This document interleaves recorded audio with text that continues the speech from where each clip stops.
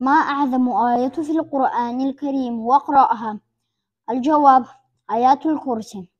أعوذ بالله من الشيطان الرجيم. بسم الله الرحمن الرحيم. الله لا إله إلا هو الحي القيوم. لا تأخذه سنة ولا نوم. له ما في السماوات وما في الأرض.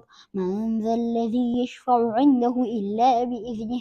يعلم ما بين أيديهم وما خلفهم. ولا يحيطون بالشيء من علمه إلا بما شاء. وسع كرسيه السماوات والأرض. ولا يؤوده حفظهما وهو العلي العظيم. Какой аят самый великий в Коране? Прочти его. Ответ. Аят Курси. Во имя Аллаха Милостивого Милосердного.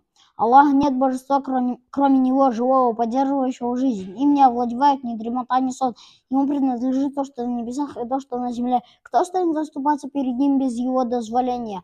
Он знает их будущее и прошлое. Они постигают из Его знания только то, что Он пожелает. Его, прос... его престол объемлет небеса и землю, и не тяготит Его оберегание, и не тяготит Его оберегание их. Он возвышенный и великий.